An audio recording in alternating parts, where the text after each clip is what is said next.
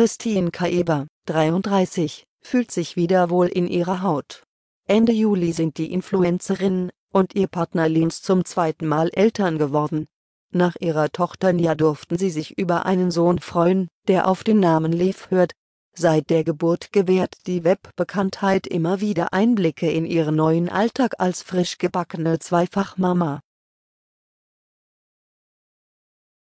Jetzt zeigte Christine einmal mehr ihren After-Baby-Body im Netz und verriet dabei, dass sich ihr Körper viel schneller zurückbildet als nach ihrer ersten Schwangerschaft.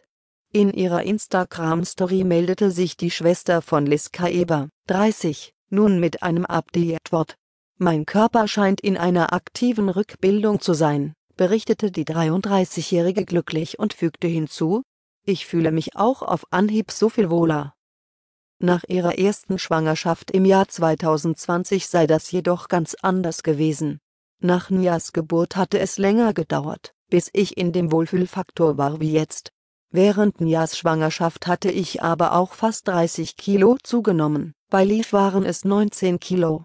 Mit ihrem After Baby Body wolle sich die Beauty nach der Entbindung jedenfalls keinen Stress machen. Nehmt euch da bloß kein Vorbild an den sozialen Medien. Normal sind diese durchtrainiert wirkenden Körper nach zwei bis drei Wochen nicht appellierte Christine vor wenigen Tagen in ihrer Instagram-Story an ihre Fangemeinde